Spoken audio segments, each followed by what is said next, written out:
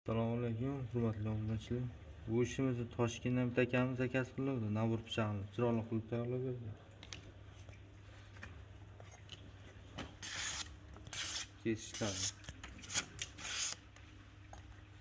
kichkina pichoq bu buni охотаga ham hamma joyga kirsanglar bo'laveradi xudo xohlasa suvakka ham hech narsaga qaytmaydi.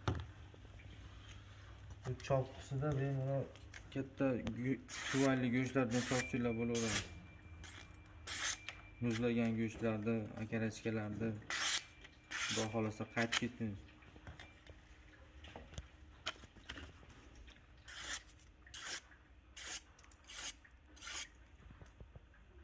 kimga shunaqa xizmatlar kerak bo'lsa murojaat qilaverasizlar.